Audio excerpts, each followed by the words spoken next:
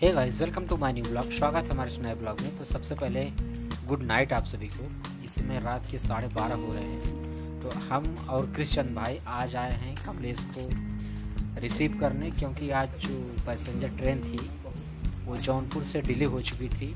चलने का समय था उसका पाँच पचास पे, और वहाँ से चली साढ़े नौ बजे। यानी कि जो पहुँचने का टाइम था उसका, वो वहाँ से चली, और यहाँ पहुँची साढ़े बारह बजे।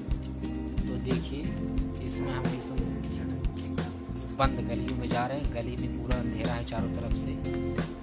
लाइट वाइट स्ट्रीट लाइट भी नहीं है यहाँ पे। ये देखिए, पूरा अंधेरा। है कमलेश गठरी लिए हुए हैं और क्रिश्चन भाई जो है बैग पकड़े हुए हैं। जगह जगह लाइट देख सकते हैं। ये बोझा कमलेश ले करके धीरे धीरे रूम की तरफ़ बढ़ रहे हैं। क्रिश्चियन भाई तो इसमें काफ़ी डरे हुए हैं। इनको लग रहा है कोई इधर मोबाइल वगैरह छीन लेगा, इसलिए हमको साथ में लाना पड़ा है। साथ में लाएँ, अब आसानी से तीनों लोग चल रहे हैं। गली में देखिए पूरा अंधेरा हो चुका है।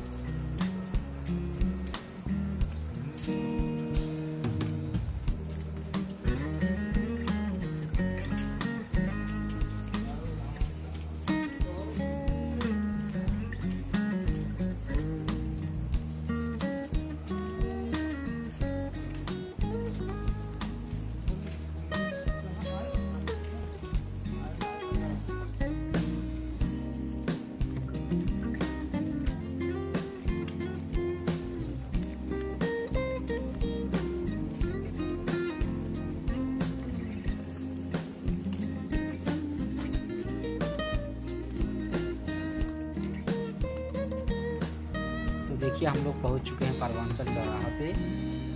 अब ये पूर्वांचल चौराहा हम लोग का चौराहा है। अब यहाँ से आगे थोड़ा राइट मुड़कर फिर लेफ़्ट में मुड़ेंगे, तब आ जाएगी हम लोग की गली जहाँ रहते हैं। यहाँ देखिए, रात में भी कार्य चल रहा है। सड़क का, शायद कुछ सड़क के अंदर डाल रहे हैं खोद करके। तो देखिए, चार पाँच लोग हैं। रात में अपना कार्य कर रहे हैं।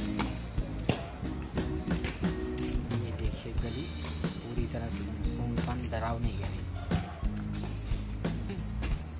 ये देखिए मुड़ में।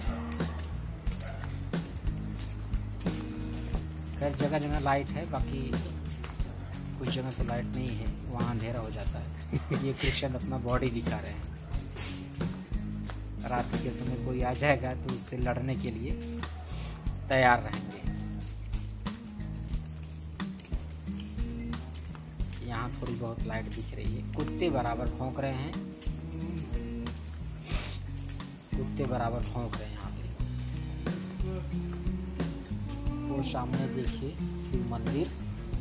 अब वहाँ से लेफ़्ट होकर फिर सीधे जाना है। तो फाइनली हम लोग पहुँचने वाले हैं अपने रूम पे। कुछ टाइम बाद। ये देखिए वहाँ का